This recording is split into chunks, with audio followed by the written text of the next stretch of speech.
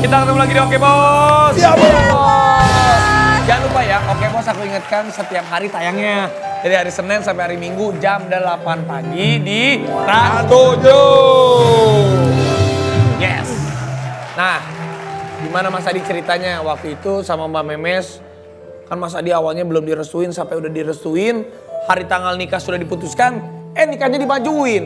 Kenapa sih buru-buru? Udah nggak kuat. Mas Adi diam terus. Mas Adi tuh diam-diam menganyutkan lu. Jadi malu. Enggak sebenarnya sebenarnya ini gara-gara eh, waktu itu kan ada BASF Award itu award eh, awarding untuk eh, industri musik lah Iya. penyanyi terbaik produser terbaik dan sebagainya gitu ya yang mana pemenangnya itu dikasih hadiah keliling dunia Oh, gitu. pemen- waktu itu ke Brazil dan sekitarnya gitu Oh, Samba. Ah kan Brazil, waduh nih aku pengen Memes ikut. Tapi kan eh, kita rencananya menikah 25 September. ah, ah, pokoknya waduh kalau nurutin jadwal nih saya ajak dia belum status belum nikah kan. Wah nggak enak gitu ya. belum Nggak resmi boleh, kan. Zaman dulu mah nggak boleh lah ya. Nah, akhirnya akhirnya akhirnya kita percepat Oh dipercepat Jadi tanggal 13. supaya bisa dapat menang. BASF itu. akad nikah aja eh, supaya eh, akad nikahnya dimajukan supaya nanti begitu berangkat Honeymoonan dia. Berarti Ya, honeymoonnya, honeymoonnya biar gratis. Tapi kalau mau ngomong honeymoon, Kevin katanya kemarin mau nikah. Kapan sih nikahnya? Aku udah siap-siap mau datang ke pernikahan Kevin nih. Masih insya Allah tahun ini, tapi saya nggak berani ngomong Ya, sekarang. nggak Soalnya kemarin udah mundur kan, nanti nggak enak. Gak apa-apa, yang penting kita doain ya. Kevin, doain, aku semoga doain berada cepat nikahnya ya. Nih tapi eh, waktu itu Kevin pernah datang ke sini Mas Adi. Serius? Oh ya? Iya pernah Oh iya, datang iya, sih. pernah, pernah. cerita nih, kita dengerin ya ceritanya Kevin sedikit ya. Waktu Kevin ke Oke Bos, looking to visual. Vici. yang digadang-gadangkan akan menjadi hari bahagia.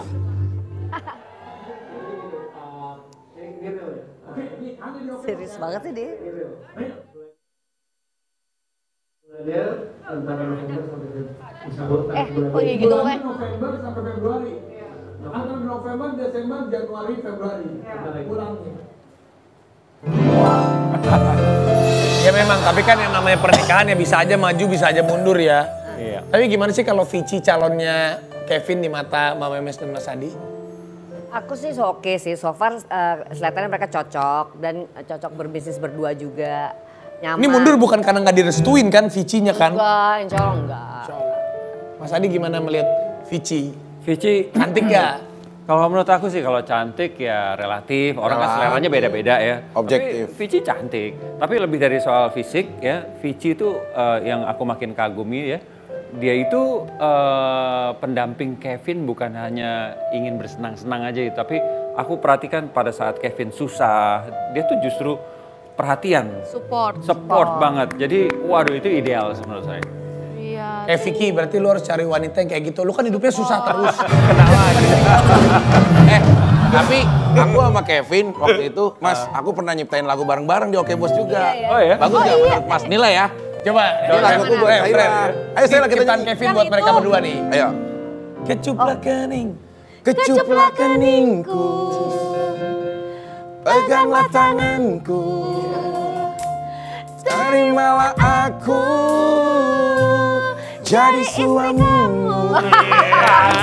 Berubah nih, berubah nih liriknya pasti. Jadi suamimu. Enggak, Iya, ini memang jadi oh, ini bener. balas jadi istrinya. Oh. Waktu itu mereka lagi deket-deketan, sekarang udah enggak. Tadi Mas Adi, enak lagunya, itu ciptaan Kevin. Wah keren Kita keren. Kevin, eh, sama liriknya kamu yang buat. Enggak, Kevin yang nyari, itu ditantang sama Abos. dari Coba deh bikin lagu, iya bikin lagu spontan Tapi kalian berdua. Kevin yang main ininya. Ya dia kalau spontan suka, dia cepet. Spontan banget. ya Iya, itu spontannya ya. bagus. Kontai uhuy. Ya, bukan. Ayo kita kapan sih recording lagu ini? Ayo dong di Rans Ama. Musik, di Rans Musik. Ama ngomong mulu. Ya datang ke Iya, iya, rumah dong. Eh Kevin, Mbak Memes aja mau datang ke rumah, mau nyanyi-nyanyi sama Gigi. Ayo barengan deh sekalian kita. Tapi Mbak Memes sama Sadi pernah nggak? Ini kan pernikahan udah 32 tahun. Pernah nggak melewati masa yang paling sulit dalam pernikahan? Dan Pernah, gimana pernah. caranya supaya bisa tetap langgeng? Ini nasihat buat kita-kita nih. Bener dong, harus. Ya ada sih. Ada pasti. Kalau kita kan setiap hari bersama-sama, dia dalam suka dan duka. Pada saat waktu Kevin, salah satu waktu pada fase tahu kan yang Kevin lagi jatuh. Ah, ah, itu itu salah satu yang Itu orang tua juga pasti ikut ya Iya, pasti. kita sebenarnya stres juga, cuman kita kan harus nunjukin kita harus support dia, nggak boleh kelihatan di- kita juga drop. Tapi kan di, di sisi lain kita jadi antara kita berdua kan jadi juga ada sedikit kayak gini gini gini gitu. Iya, Nah itu masalahnya sih, di antaranya ya. Tapi sekarang kan Kevin udah dewasa. Tristan juga, sekarang usianya berapa Tristan kali? Kan dua-dua. Dua-dua, ya mungkin lima tahun lagi atau berapa tahun lagi menikah. Iya. Tapi kalau mereka udah menikah, Mbak Memes sama Mas Adi udah punya bayangan gak sih? Ah, kalau anak-anak nanti udah nikah, kita menuanya di mana atau mau gimana gitu. Nuanya sih tetap aja di Jakarta. Kalau Vicky kan mau pergi ya. Coba pengen punya cucu ya Pak ya? Ya sekarang aja udah udah sering di rumah tinggal berdua gitu. Lu lagi, lu lagi. Lagi lu lagi. Jadi ya aku sering bercanda nih ini udah nuansa orang pensiun. Apalagi sekarang kita mesti di rumah terus kan. Lagi Dulu kan corona. rame anak-anak yang sini bawa temen ini apa main di Kumpul, atas ya. ini main di sini. Tiba-tiba sekarang setiap hari cuma berdua. Soalnya anaknya juga cowok semua dua-duanya. Iya, dan- Tapi mesra ya, Mas Adi sama Mbak Memes masih pegangan tangan gitu ya. ya, main main. Iya lihat. Dia malu sih. Tuh gitu, A. Nanti sama Kak Gigi sampai tua insya Allah semoga. Insya Allah. Amin, mau amin. Amin, pegangan tangan. Amin. Cuman gara-gara Kamu lagi ngapain sih segala nasehatin Abos? Ih, enggak. Pikirin aja kisah cinta kita. Tetap Eh. ya. Kan aku selalu mendoakan yang terbaik. Ini gara-gara di Oke. Bos kemarin bahas cincin nikah gue hilang, gue sampai rumah ditanya sama Gigi. Tuh, "Ah, masa- itu makanya A juga masa cincin Kamu nikah cincinnya bisa beneran hilang. hilang? Emang kalau cincin nikah masih ada nggak? Aku masih. Ada. Tuh, A. Tuh, A, Kak Vicky. Kira ganti berapa kali? Iya, Kak Vicky. Eh beli lagi, beli lagi, beli lagi. Enggak sih, cincin nggak harus ada di sini sih memang. Tapi Tapi tertanam di hati. itu mah sama aja kayak A. Bisa aja ah, Cikampek. A, tapi A berarti nanti janji ya A, A bakalan cari cincin AA kan? Kamu ditanyain beneran sama Bu Gigi? ya gue cari gara nonton Bos. Emang bener itu cincin hilang? Iya. Takutnya soalnya antara hilang sama ya udahlah ya. Tapi Mbak Memes pernah dibikin nangis sama Mas Adi loh. Tiga hari tiga malam. Diapain Mbak Memes itu Bukan, sama bukan Mas Adi? Mas Adi sebenarnya. Waktu itu Kevin, Kevin itu kan eh, sekolah. Iya. Udah kelas 1 SMA, mau kelas 2. Eh kelas 2, terus dia tiba-tiba mau homeschooling. Itu terus dia tiba-tiba bilang minggu depan aku mau homeschooling gitu. Aku kan kaget. Totonya Mas Adi merestui. Ya dia diem aja sih sebenarnya antara gimana Pak. Jadi aku pikir ya aku sedih lah soalnya tanggung kan mau sekolah di udah sekolahnya sekolah bagus di Global Jaya gitu kenapa lulusnya mesti homeschooling kayak gitu kan saya juga jadi repot kalau jadi homeschooling tuh aku nangis bener Nangis tiga hari Mas Masa Adi. per hari-hari itu. Oh, aku enggak, enggak nangis. Mas Adi diem aja ngeliatin aku bukan dibujuk-bujuk dia diem Oh, aja. jadi Kevin itu tadinya sekolah, tiba-tiba homeschooling, Mas Ya. Adinya merestui, Mbak Memes nangis. Aku kagetnya gi- gi- gini ya, Kevin kan masih kelas 2 mau naik kelas 3. Tiba-tiba lagi duduk-duduk diam-diam gini, siang-siang hari bolong, tiba-tiba dia bilang, "Pak, eh, mulai besok aku nggak mau sekolah lagi." Depan ya dia. Mulai besok dia bilang, "Hah?" Saya langsung "Ini bercanda nih. Serius, Pak. Aku mau jadi musisi kayak Papa. Terus kalau udah jadi musisi gitu kan di sekolah suka ada geografi dan sebagainya. Apa Papa masih perlu? Kayaknya musisi nggak perlu yang gitu-gitu. Aku diem bingung, shock gitu ya. Waduh gimana? Kita shock. Kamu mau gimana? Homeschooling. Nih, dia kasih laptop. Nih, kalau di Jerman nih begini, di Amerika begini. Kecenderungan homeschooling gitu. Wow, aku langsung, udah kamu bicara sama mama. Dia bicara sama Memes, nangis tujuh hari. Eh tiga hari.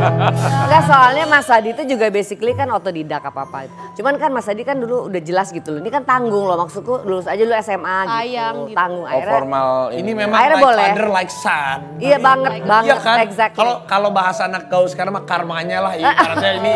Betul. Iya betul ya. Aku Betul, begitu betul. Kevin ngomong begitu, aku terdiam terus ngelamun, si Kevin lagi diam. Yang aku pikir cuma ini karma gitu. Tapi kan masalahnya kalau Mas Adi anaknya delapan mamahnya. Aku kan cuma dua. Anak pertama lagi jadi aku shock gitu loh. Tapi akhirnya aku oke aku terus konsultasi ke beberapa ahli bangsa kaseto segala. Oke bisa homeschooling tapi kan harus didampingi sama ibunya atau orang tuanya. Aku bilang sama Kevin, oke Kevin kamu tinggal eh, satu setengah tahun lagi tapi kamu mesti lulus enam bulan. Jadi dia lo- kayak loncat. Jadi dia nggak ngalamin kelas 3 SMA. Jadi, eh, Jadi tahun berikutnya, jadi enam bulan. Tahun berikutnya Kevin udah Udah daftar lulus. di UPH, eh, Itu pasti- universitas. Ini SMA dulu nih. Ah, waktu di SMA nih, udah, eh, tahun berikutnya selesai dia langsung ke universitas, temennya naik ke kelas 3. Ya, Jadi gitu. dia nyusul apa Dia mempercepat percepatan. Lompat, kelas. lompat. Karena akselerasi. Satu kelas. Tapi aku juga yang bilang itu satu setengah tapi janji ya jadi enam bulan. Iya mah dia belajar di rumah. Tapi Gitu. Kevin tuh anaknya membanggakan loh. Banget. Dia ke saya. Sama lah Tristan juga ya. Ah, iya, Tapi sama kalau lah. Tristan kelihatannya ke arah mana nih adiknya Kevin nih? Tristan Tristan tuh lebih linear ya, anaknya lebih uh, Kuliner. nggak dung ding dung ding dung nggak nggak nggak kayak si Kevin tuh zigzag banget. Linear. Um, terus dia udah selesai Tristan kuliahnya, sarjana dia. udah sarjana, tapi begitu selesai, mah udah sekarang aku ngeband dulu ya. udah, dia bayangannya Oh semuanya sama kerja aja kerja dulu gitu ya. Dia maunya kamu jadi pegawai apa kek Bukan gitu pegawai, ya. maksudnya ya Ya, staff, ya, Administrasi. Belajar, belajar. bisnis gitu ya. Tiba-tiba ngeband Mantra Futura. Terus sekarang sama apa? Band apa? Hindia. India show terus. Oh iya mau main India Dia itu. sekarang dia kan India itu indie, lagi dia naik bandnya tuh. kan indie Mantra Futura, jadi dia sering mulai show di show dengan Mantra Futuranya itu. Tapi memang sama ini- Zaki berdua. Anak anaknya tuh yang satu ikut ibunya ngeband, yang satu ikut bapaknya main piano. Saya lah.